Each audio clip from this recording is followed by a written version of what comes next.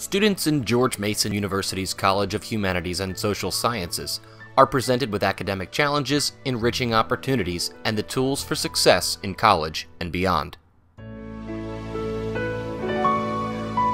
which has intrinsic motivation. So Yeah, but this is not, that's not what you look at. You look at As an undergrad at Mason, I've been able to research leadership and motivation in a completely new way.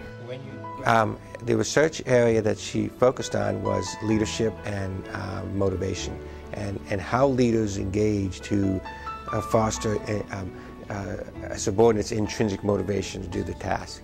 Um, so she, she brought her, her dad worked with some well-known people in this area, so she was coming from that perspective in the area of, of motivation. And for me, she got leadership focused, so she brought them together. Um, and she developed, she did an experiment in which she manipulated uh, how um, the activities of leaders and, and measured the subsequent uh, consequences on, on, perform- on, on motivation, on expressed motivation, and subsequent performance, and, and found some interesting findings that um, uh, you needed two different kinds of leadership behavior.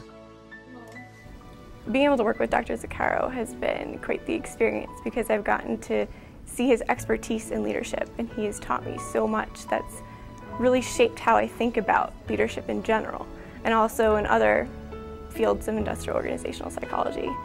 He's been developmental in giving me really tough goals, but he's also really helpful in getting me through those goals and very supportive throughout the whole process.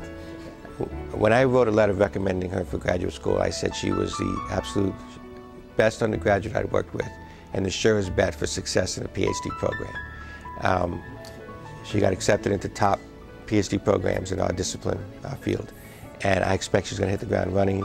And as she maintains and grows the habits of research um, and, and, builds on her in, uh, innate uh, curiosity about this discipline, she'll be a star in the field.